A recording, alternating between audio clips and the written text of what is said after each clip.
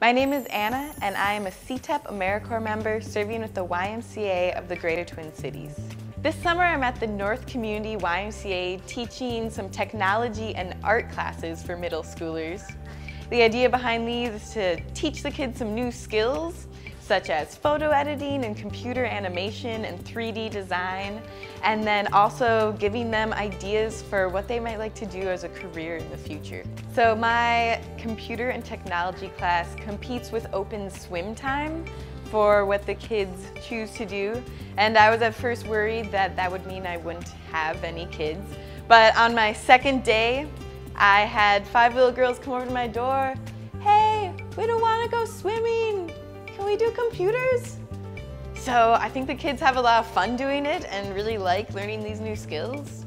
And it felt good. CTEP AmeriCorps is the Community Technology Empowerment Project. And there are 35 members all over the Twin Cities area and we deal with technology literacy and bridging the digital divide. CTEP members do things like lead open labs and libraries where people can come in and ask for help with their resumes or with job applications or just with figuring out how to use the computer to find the bus.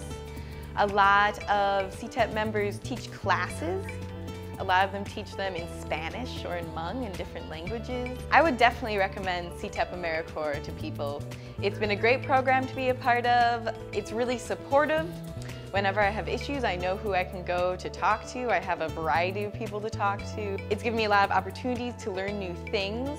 I got a membership to SPNN, so I could utilize their classes and their equipment, which is really cool. It's been a great experience.